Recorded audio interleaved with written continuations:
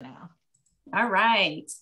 Hi there, everyone. I'm Tricia Clements. I'm going to go ahead and share my PowerPoint presentation with you all and get started. So um, I'm Tricia Clements with YourBizWatchdog.com, helping small businesses get found online. And I help small businesses primarily with their Google My Business. That's one of my biggest focuses on um, that local SEO. And I see that Ray uh, had his seatbelt on, so that's good. You guys um, put your seatbelt in because we're going to be moving fast this morning. Uh, wanted to go over a lot of things with your business's online presence, local search and online reviews, and of course, Google My Business. Okay, so the first thing I want to talk to you all about is your business's online presence. So this is one of my little pet peeves um, that I always, always like to uh, to talk about, and that is saying that you have to have a place online that you own and control to send your customers, clients, potential customers. Um, you really, really need to have that place because um, I, see a lot. That's one of the problems I see is a lot of people, uh, customers, they'll, they'll send people to a site that they don't own. But the whole point of SEO is getting your business found and then converting that to a customer.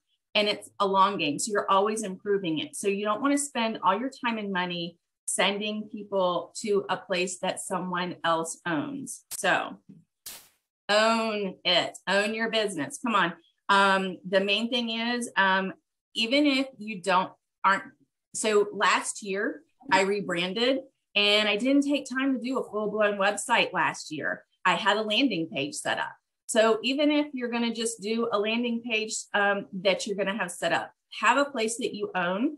I did now. Thankfully, I got my new website launched. Um, but sometimes, um, no matter what the reason, you might not have your full website ready to go put get something up there with your information and on a, on a domain that you own because if you can shop on Amazon, you can buy your domain, okay?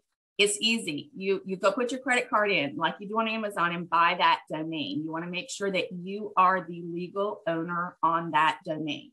So um, go ahead, make sure you're the owner on your domain.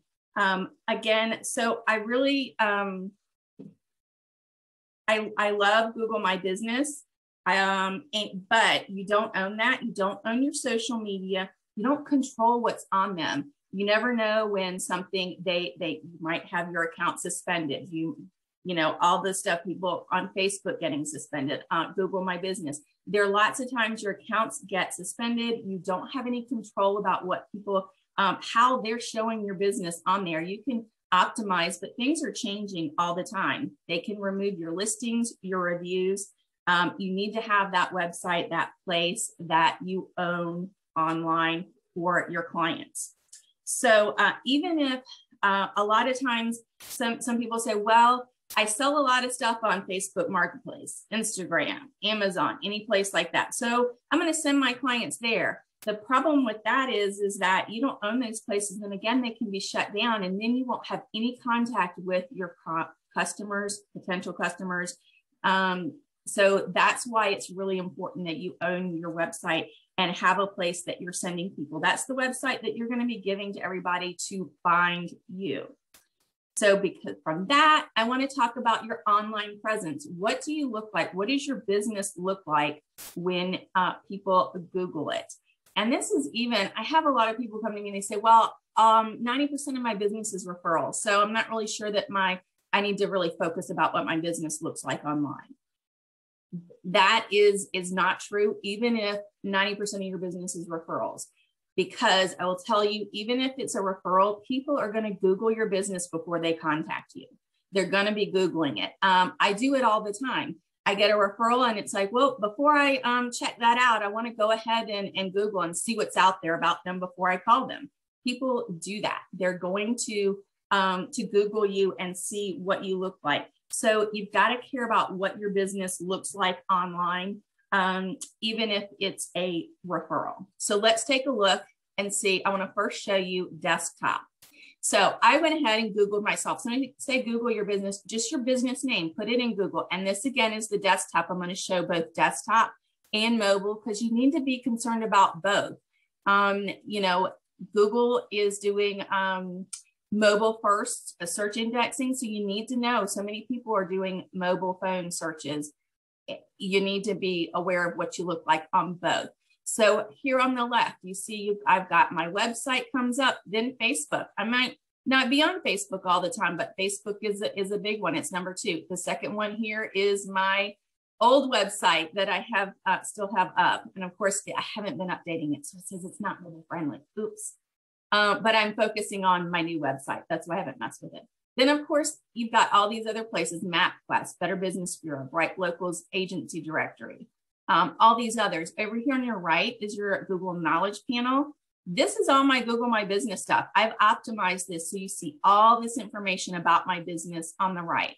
Now let's scroll down and see the end of page one. You've still got things here with um, a few things. I've also got my chat with Tricia. That's my um, my my link that I have uh, to to book a call with me. Then here on the right is the rest of your Google Knowledge panel. You'll see reviews, description. These are my posts that I added. People also search for. All of this here is Google My Business. So let's go back. You've got information here. Again, this is desktop. The whole right side here is Google My Business when people are looking you up. So that you really need to know what your business looks like online. Now let's look at it on desktop. This is a huge difference. Uh, I'm sorry, on your phone is a huge difference from your desktop. So I went ahead, put your Biz Watchdog in on my phone. Look at all, all this whole part here is Google My Business, chat, call, website. All of this is Google My Business, Google My Business. Then you've got my website. Again, then I just kind of scroll down here, Facebook, my other website. Then here I've got my posts. Now let's go, keep scrolling down, Google My Business, make an appointment, contact us, products, reviews, more Google. And then all the way down here, it gets to MapQuest, Better Business Bureau, Bright Local Agency Directory. So let's go back. You can see you're going to get all of this information here. And then I've got my website. Facebook is right up there at top. And then Google My Business. Whoops, I went the wrong way. And Google My Business some more. So on desktop, you can, on phone, you keep messing up on phone, you can see your Google My Business takes up a huge amount of space if you have it optimized. So make sure that you are optimizing your business to get found online. It's really, really important. So let's talk about the ranking factors. That's one of the things I want to focus on today. Uh, looking at the ranking factors, is your uh, business getting found online? So first off, I decided, okay, let me, I have a new website. Let me search for a keyword, not my business name, but a keyword. So I did Google My Business Help in Marietta. And here I come up here in the search engine. So what determines then the local search ranking factors, the search engine results page? And I want to go over um, the 2020 Local Search Ranking Factors Survey by Whitespark. So this was done last year and um, it was published online in December, I believe. And this is what I want to focus on because basically your local search, what makes you rank higher in the local search? And you can see Google My Business is 33%, reviews 16%. These two make up 49% of, of what the local search ranking factor survey. Google My Business, 33%. So that's why I say Google My Business is so expensive. You could see looking at it on the phone how much space it took up uh, when you someone searched and they actually put in um, the they were searching specifically for my brand name. Now I want to go over just first what's because over time things change. Um, and, and what has changed in recent years and the biggest shift in local search. And this is going to be what you're going to focus on. So, uh, what you were focusing on six years ago isn't what you're focusing on now if you're looking at local search. So the biggest shift citations went down in 2015, 17%, 2020, 7%. Google My Business shot up from 15% to 33%. So that's a, a really, really big, um, big change there. And I want to just briefly go over citations just so you know really what I'm talking about, because a lot of people talk about citations, but as you can see, they have some importance, but they're not what they used to be. So for citations, what I'm talking about is your online uh, directories that have your business information. They have your NAP, and then I add W, name, address, phone number, website. And it used to be get as many as you could get, not anymore. Um, now it is more instead of getting high numbers, you want to look at quality. So I, I talk with my um, customers and clients and I tell them focus on three areas. Focus on the, the, the top dogs. You've got Google, Google My Business, that's the biggest one. Facebook, Yelp, Bing, Apple Maps, Yahoo Local, and Better Business Bureau. Um, all of these listings, they're free to set up. Um, now, the only time, of course, is when you need to optimize them and you're getting someone to help you. Now, um, Google My Business is the main one I would focus on. That's the one 33% Google My Business. The others, just make sure you've got your, your information on them and it's correct. Um, and one of the things um, some people ask about voice search. So um, Google Assistant gets their information from Google. Siri gets its information from, of course, Apple Maps. Uh, Microsoft Cortana gets its information from Bing. Um, Amazon Alexa gets its information from Yelp. Uh, and so the one thing I hear a lot of is people don't like Yelp, and, and I'm in that crowd as well. But I will say uh, for that, just make sure you have your listing there. You've got your information, name, address, phone number, website. It's correct. Um, and then from that, move on. You can, I would also add some images to that um, but don't spend a lot of time on it. Google's your big one that you want to focus on. Local citations, if you are a member of any local business organizations, niche citations, those are things that if, um, let's say you are a, um, a business, a trying to think of some. Um, you want to find something like a real estate agent and you, you're on realtor.com. That would be a niche citation, something that's right there in your specific niche. But other than that, don't spend hundreds of dollars a month on those citations. Get those citations and then move on. Move on to what's really important for getting found online, which is your Google My Business. Because I'm going to be pretty mad if I find out that all that money every month that you're going to spend on citations, you need to take that marketing money and put it into the things that are helping your business, which is your Google My Business. So again, let's go back and look at this um, on here where it's got Google My Business is 33% of the ranking factors. So what, what makes um, up that Google My Business? What pushes the needle on Google My Business? First off, your primary Google My Business category, and that's pretty much going to be set for what your business is. The only time I think that that would um, that would change is if you're a business that maybe has a seasonal business, like let's see um, an air conditioning company in the summertime, and then maybe you would change it to a heating and air in the wintertime. But other than that, you're prob- probably going to just be pretty much stuck with your primary category. Um, and that's just something that you you'll just set and typically leave it. Um, there are some instances where you might change it here or there. Keywords in the Google My Business title. So that is something that's a, a bit of a hot topic because a lot of us SEOs um, don't like that Google puts so much emphasis on it because it means there are people who are going to go against Google's guidelines and actually stuff keywords in the business name and that's against the guidelines. So um, I'm going to talk in a minute about some some spam fighting on the map. But basically, um, your business on Google should be exactly the business name that is your, your legal name and how you show up to the public. Next thing is your proximity of address to the point of search. So that's pretty set. You can't really do much about that. Um, the next one, your physical address in the city of search. Again, that's your address. You can't really do anything about it. The only thing is if you're in one city and you're getting most of your business from another city, it's going to be a big decision if you decide that you want to actually move your business. That's not something to be done lightly. Um, but that would be the only time you'd, you'd ever have that you might that might change. So these are things that are kind of set.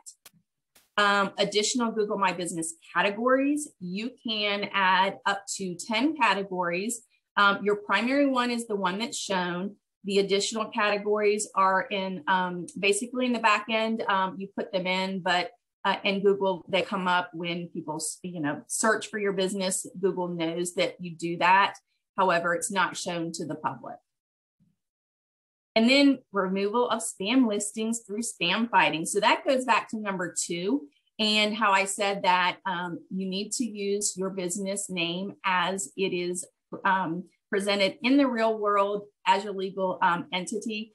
But some businesses do use that to put spam in. And a lot of us SEOs go in and report that to get that change so that um, really if you've got somebody that is above you or around you that is using on the map when they're searching for you and they've got spam you really need to report that and get that removed because you really want to level the playing field. They shouldn't be getting all these customers simply because they're trying to game the system. Completeness of your google my business listing fill everything out get it done. And a verified listing that's something again that you just kind of um, you do once typically. Um, if you do have an instance where your account suspended, you may have to go in and re-verify it. But you're probably looking at all of these things on here and saying, well, there's not much I can do about many of these. So how come Google is is so high up there? You know, a, a lot of these things you're kind of they're kind of set. You know, you do the the spam fighting, but there's not a whole lot of things on here that that you're wondering what would you do for Google My Business to then get found.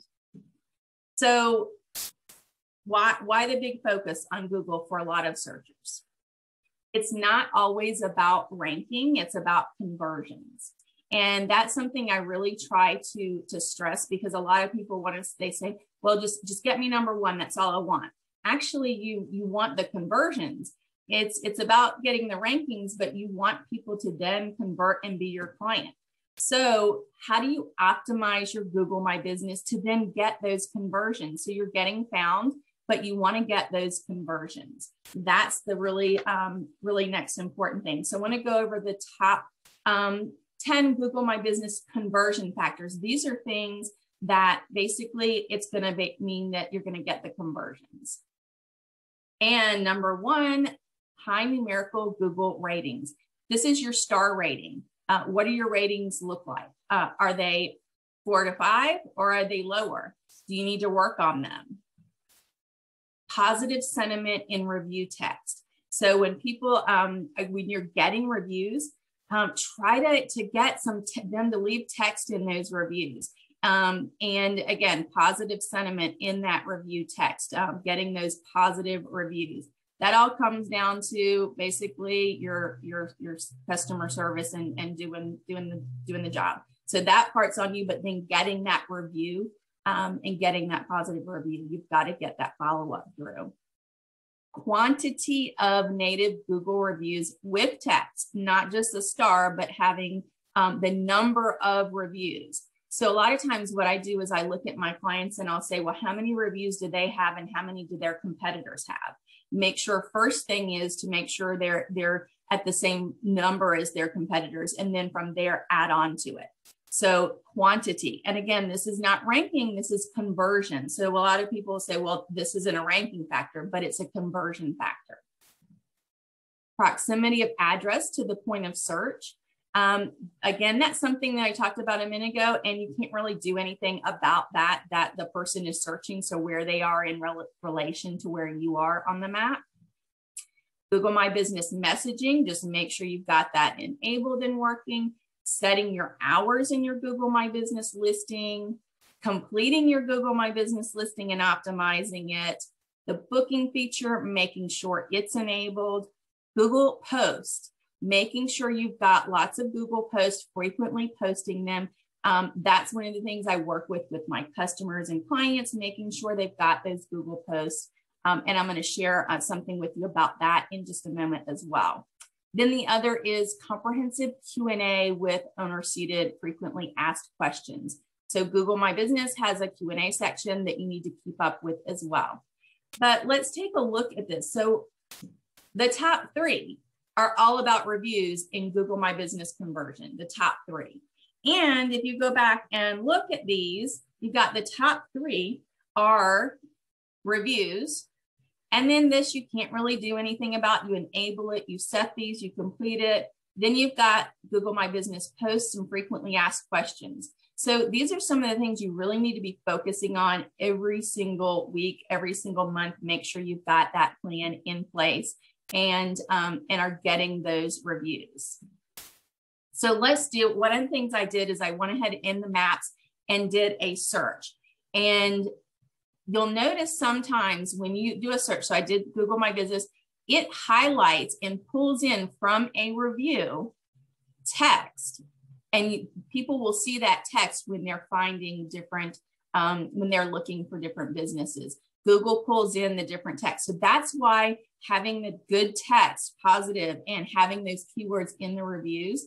So that all comes down to just consistently asking for reviews and then just saying, you know, let me know how I did, let us know how we did, and make sure you, you put a little details about the, the specific service, what what it was that you enjoyed about that. Next thing I want to show is these are the review attributes. So when you're Googling something and this comes up on the map, it tells you the different things that are mentioned in all the different reviews. So as you can see, your reviews are really, really important. Again, all this information is coming up for the Google reviews. Now, the next thing I did was I searched for, um, and I put this one because I was looking for different things. I did put this one in quotes because I wanted to get it to come up. Your website. So Google will say if you search for something and it'll pull something, it'll pull things from your website.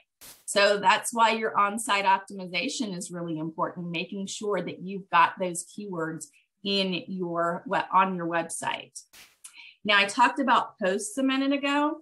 I was searching and I I did I searched for um virtual business card and I didn't use the um the quotes on it.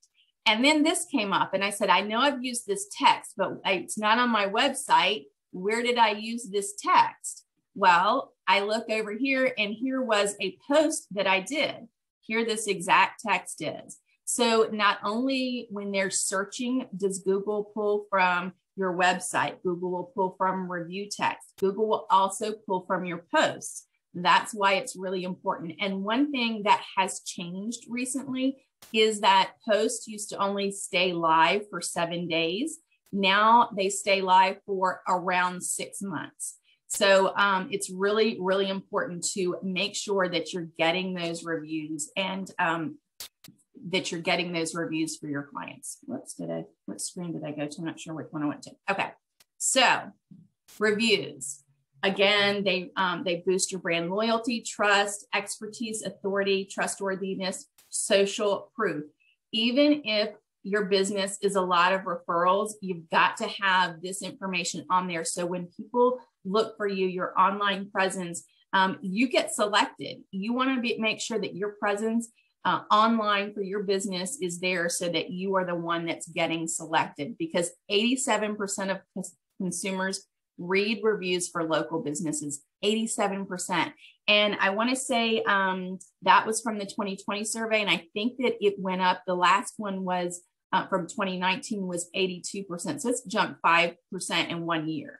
Um, so that's really big. People especially now uh, after covid people are really online checking out businesses before they head out to see to find out about them making sure they're still open.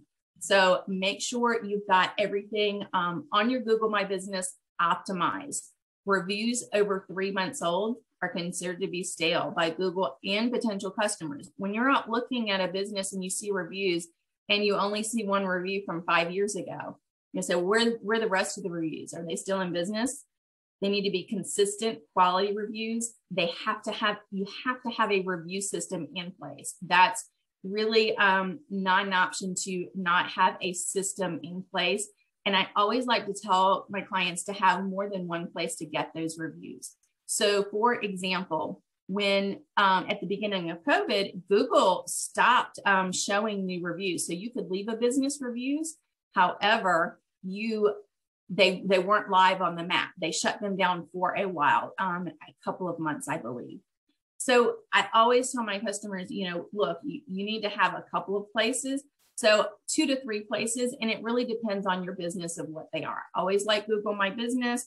And then it depends on the business. Sometimes it might be next door or it might be um, a niche citation site if you've um, got those. Um, I, and typically what I do is say, thank you so much for your business a few other things, and they'll say, please leave uh, a review on the site of your choice, and I will have links to them. And I've even had once um, someone leave it on all three places. Now, I I didn't um, tell them they had to leave them there. I just said pick one, and they picked all three. That was nice. but um, but always giving them an option. For example, some people may not have a Google account. You have to have that to leave a review, and they may you want to get that review. So if you don't, if they don't have a Google account, they don't want one, they may just not leave your review. If you leave, say, oh, well, then, oh, we'll have a Facebook account. Okay, I'll, I'll leave one over there. So definitely always give them options for your reviews. So let's go over a couple of don'ts. And um, anyone that's heard me speaking has probably um, heard me talk about these before. Um, you want to make sure that you don't do what's called review gating. That's basically when you um, ask for review if, and say, you know, how did you like uh, our business, our business, our service, whatever it was. And when they say they loved it, say, please leave us a review. When they say they didn't have a good experience, you don't ask to leave that review. You've always, always got to, no matter if they say they had a good or bad experience, always give them the option to leave the review. Um, if you don't, that's called review gating. It can get your account into trouble review hopping. That's basically getting together with other businesses and leaving each other reviews. Google doesn't like that as well. Uh, it, they need to be valuable honest and unbiased reviews. So no incentivizing reviews. That includes contests.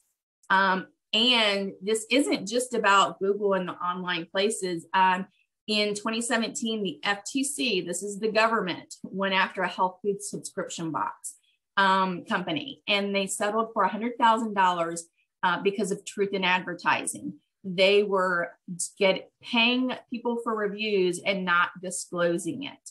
So it's not just Google. You might you could lose all your reviews from Google, but then also you could have the government coming after you. So that's a big, huge no-no. So all of these things with Google, what do you do for your reviews? The first thing is get that review system in place. First, um, if you see people in person, always, always ask in person.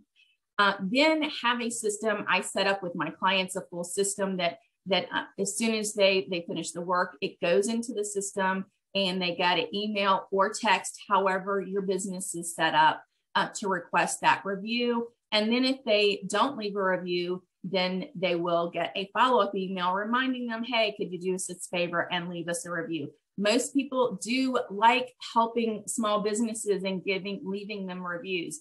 So uh, a lot of times i'll say can you do me a favor? I'm trying to trying to boost my business on google and i'd love a review. Most people are going to do it. Um, if you ask and um, and so definitely ask in person. If your business is uh, subject to HIPAA, that's the healthcare privacy. I'm not going to remember all the words to it, but basically in the healthcare industry, you've got to be very, very careful. So I tell clients to respond to all reviews and um, even negative. And with the negative, don't go and just kind of um, into a long rant about it. Just try to take it offline. And for for healthcare, they cannot when they respond to a review, they cannot in any way acknowledge that the person was a patient, even if they said that they were a patient. So um, with healthcare ones, I really like to just tell them to say thank you for the feedback, thank you for your the time to leave a review, and and that's it. Um, but others definitely, um, if you're not subject to HIPAA, definitely add a little more to it and um, and and be personal. Um, I always like to include their name in the feedback as well if I can. So some examples of businesses that didn't have quite control over their Google My Business account. So I had um, actually have done a couple of businesses where they were marked permanently closed on Google, but they weren't permanently closed. Google says you're closed, you're closed. Here's what it looks like. Two places in Big Red. This is a business that actually is closed that I pulled up. It was a restaurant I really liked, so I was upset that they closed. But you've got two places. It's it's marked permanently closed. So if you're marked closed on Google, people are going to pull it up. They're not. They're going to just say, "Oh, they're closed." Um, so you definitely um, need to check and make sure that's not there. I had one that worked on their business. Um, they had several locations. They closed one, and then a couple of years later, they reopened that one. When they closed it, they did right. They marked permanently closed. They didn't think they were going to reopen. When they reopened, they did not have control of their Google My Business. They could not figure how to get in and say they were open. So here they are permanently closed on the Google map the whole time for over a year. And so um, when they came to me for help, I was able to get them open in one day. So how the other thing is you have to look at your Google My Business and see what are what's right on it what's wrong on it and how long is it going to take you to get it fixed? Um, if you're struggling with it it's definitely something that you need to reach out um, and, and, get some help on because that was a whole year that people thought that their business was closed. So you know that their business um, was was tanking because they they people didn't know that they were open there's an, other things um, when businesses was suspended, not on the map for several months at the beginning of COVID. And again, you don't own your Google My Business. So um, at, on that instance, it was something that um, right at the beginning of COVID, the uh, Google My Business, their help basically kind of just stopped. And so we couldn't reach out and get that unsuspended at the beginning of COVID. As soon as their uh, help opened up, I was able to help them get back on the map. But it's really something you need to make sure that you're, you're keeping up with um, and looking at your account and making sure it's optimized. I also had a client where her account completely vanished. That was an interesting one. She, luckily, I was able to get her account back and get her reviews because that's that's something else. If you are not keeping up with it, what's going on with your account? When when did you last check it? And is it still on there? Is there something wrong that you need to to reach out to um, and, and get resolved? The other thing that i like to tell clients is not to have a ton of users on your google my business.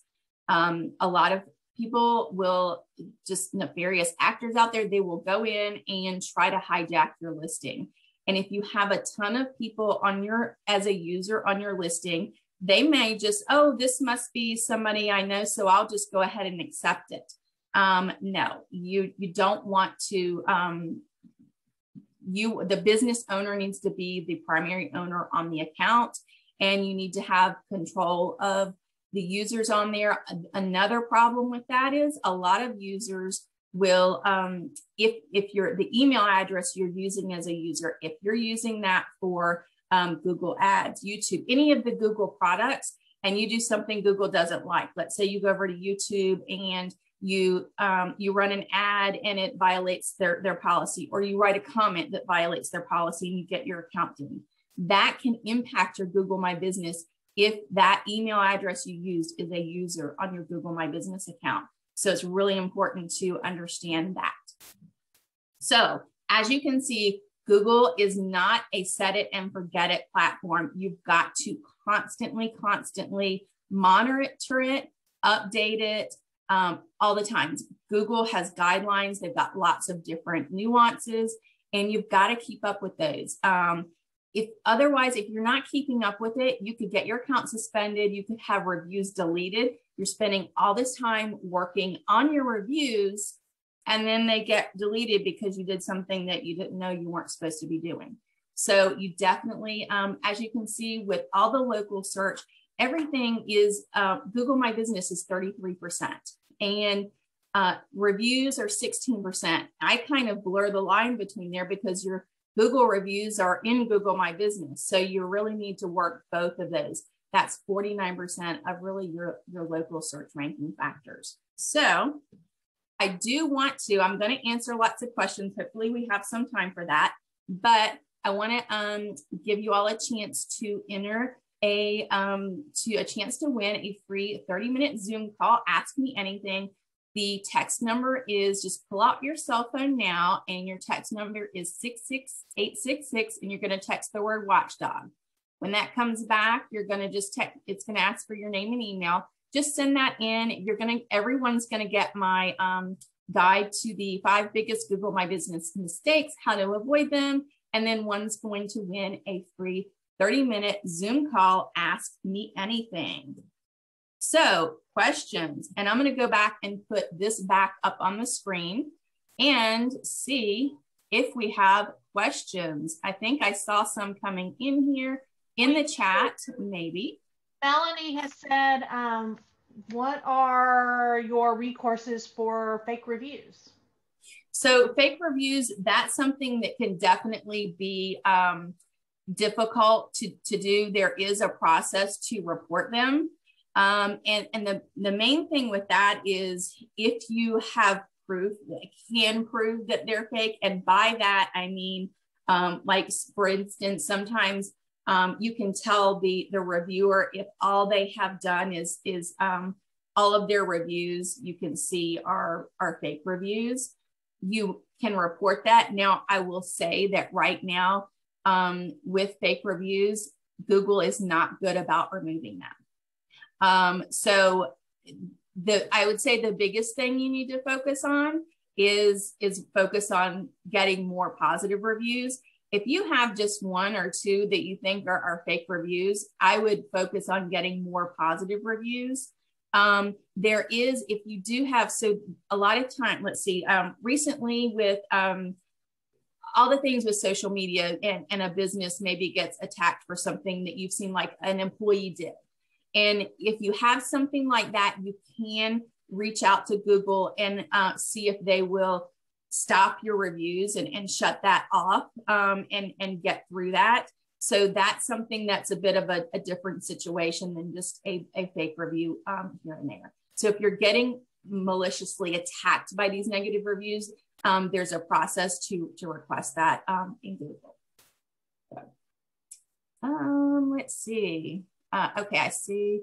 Um, when a Google is set up by an employee who's no longer, how do you claim? So basically, um, Melanie, it the the answer to how to um, Google My Business set up by employee, the owner never has um, ownership of it. How do you get that listing and claim it?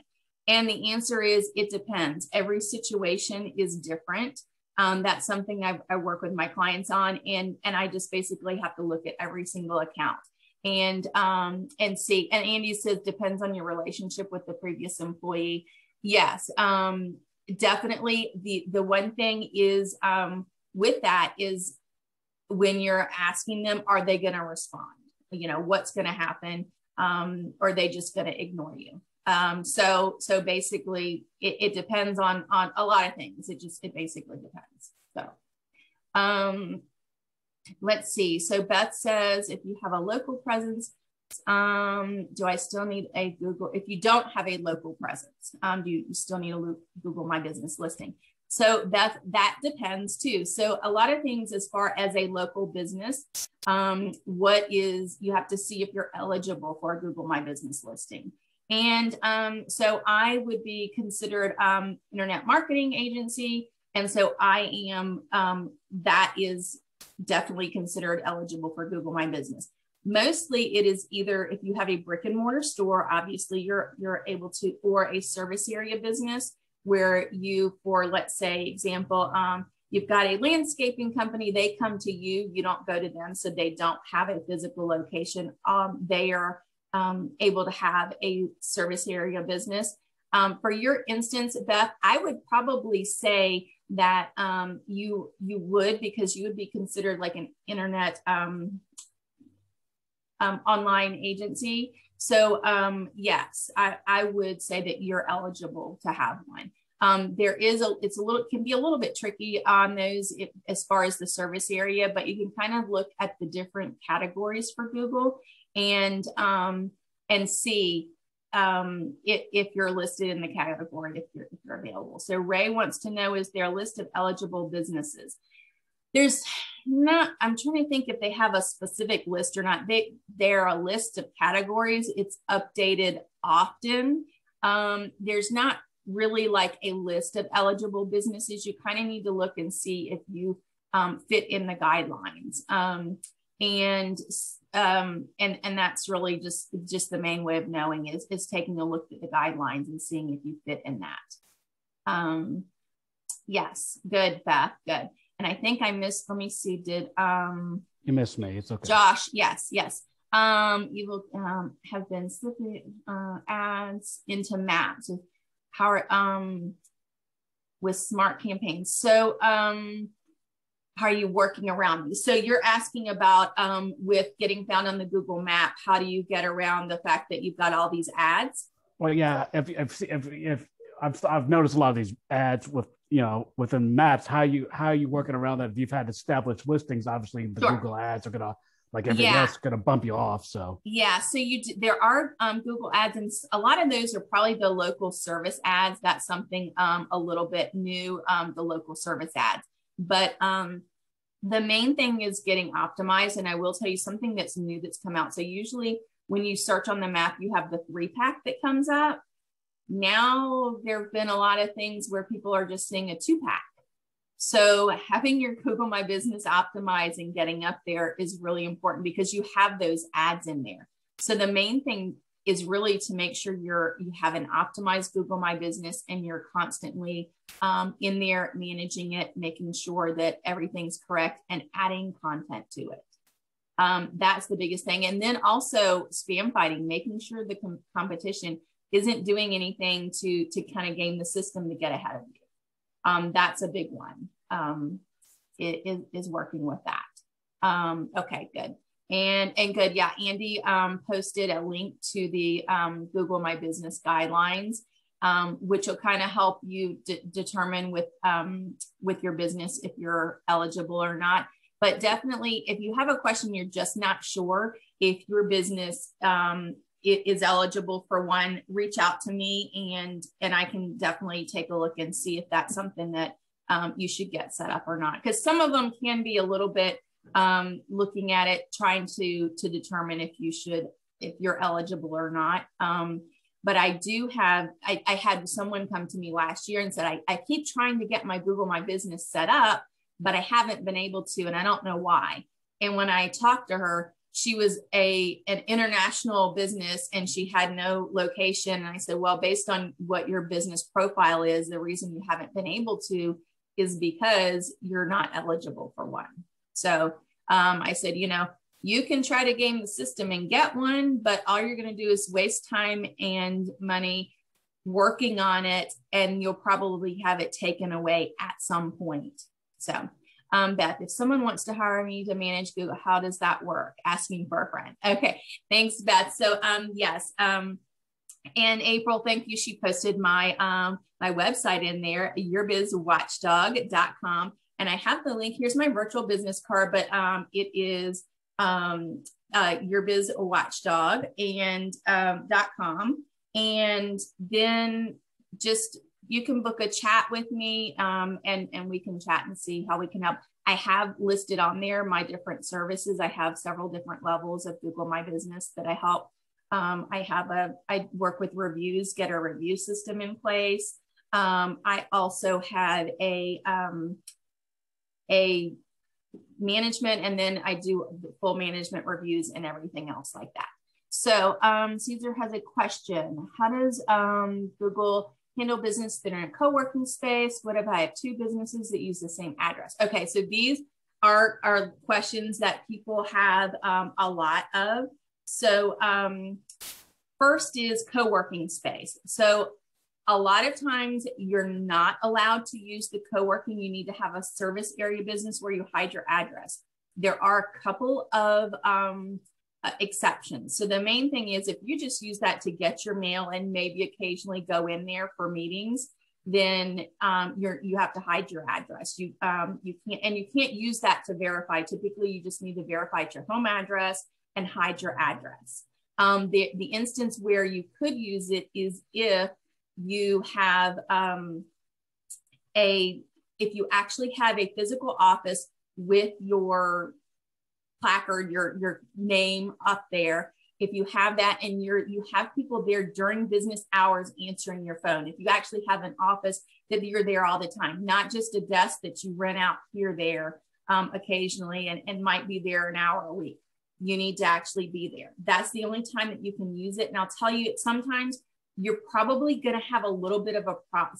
You might have a problem with that because Google might see it's a co working space and you might get suspended. Um, but you are able to have it if you do have space and you're there working at your desk there during business hours and answering a phone.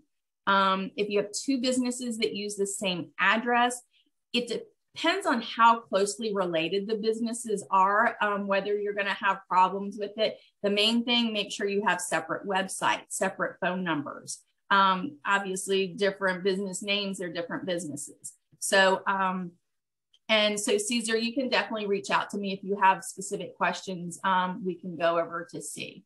Uh, and then let's see, um, a virtual business card, Beth. Yeah. So you can, um, and I um, reach, I've got that listed on my new website, uh, yourbizwatchdog.com. You can look at services and I've got my information there on the, um, on my virtual business cards.